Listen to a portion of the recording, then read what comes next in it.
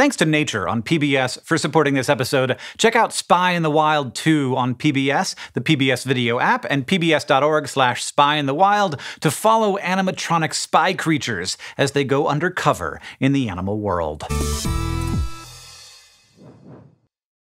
Birds fly, fish swim. We learn this when we're two. But of course, things in nature are never quite so simple. One creature that muddies the waters, so to speak, is Limacina helicina, an Arctic dwelling species of sea butterfly, a type of mollusk. Rather than swim like most other aquatic life, this creature seems to fly through the water with tiny wings. And scientists studying these wing movements noticed something interesting. They looked remarkably similar to the wing wing movements of hummingbirds and fruit flies. But why would you need to fly in water? Isn't flying different than swimming for a reason? Well, the answer lies in a concept from the field of fluid dynamics called the Reynolds number. The Reynolds number is used to predict how a fluid behaves based on the speed of a movement and the physical properties of the fluid. A high Reynolds number describes fast, turbulent movements, such as humans swimming through water, while a low Reynolds number describes slow, smooth, or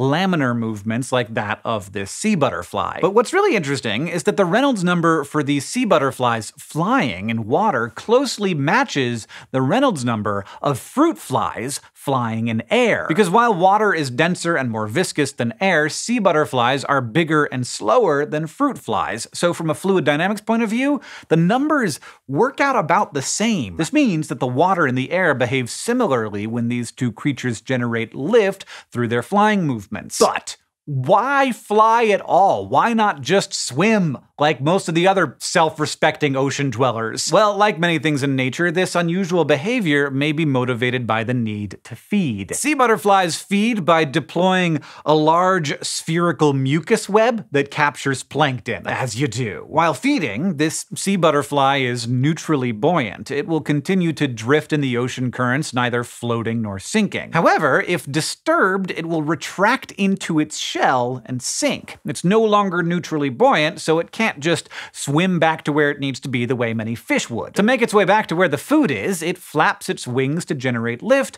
until it can redeploy its web. This is a great example of convergent evolution, when two different creatures with only distant relation to one another develop similar behaviors to adapt to similar environments. In this case, sea butterflies and fruit flies both evolved to use flight mechanisms that manipulate the fluid around them in similar ways, even if the fluids themselves are completely different. Maybe we should start calling sea butterflies sea fruit flies. Then again, Maybe not. If you enjoyed learning about how sea butterflies move, you almost definitely will like a new miniseries from PBS that features some actual butterflies. It's called Nature Spy in the Wild 2, and you're looking at footage from it right now of a huge flock of monarch butterflies, filmed by, believe it or not, a robot hummingbird. Over four episodes, more than 50 robots like this go undercover to film animals in the wild. The robots can get close to animals in a way that humans just can't can't.